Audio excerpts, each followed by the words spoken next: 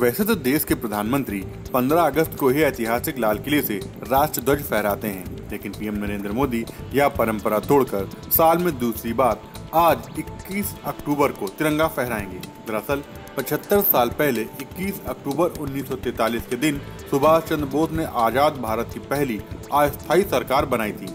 उन्हें पीएम की ये श्रद्धांजलि है।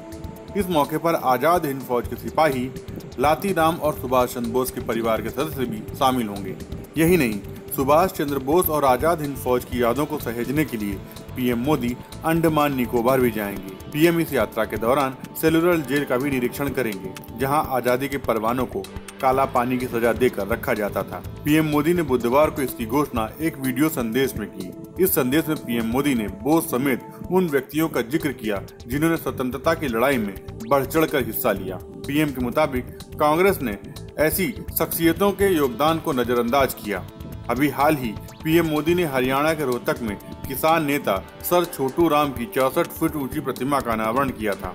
अब 31 अक्टूबर को प्रधानमंत्री मोदी विश्व की सबसे ऊँची प्रतिमा, स्टैचू ऑफ़ यूनिटी का उद्घाटन करेंगे।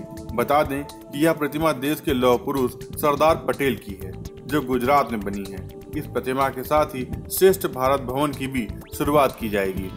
माना जा रहा है कि इन महापुरुषों को याद कर पीएम मोदी राजनीतिक संदेश भी देना चाहते हैं। हालाँकि कांग्रेस की ओर से अक्सर इसकी आलोचना करते हुए आरोप लगाया जाता है कि पीएम और बीजेपी उनके प्रतीक महापुरुषों को हथिया रहे हैं। न्यूज़ टाइम्स के लिए अभिषेक मिश्रा की रिपोर्ट। सब्सक्राइब करें हमारे YouTube चैनल को और हर अपडेट पाने के लिए बेल आइकन को दबाएँ।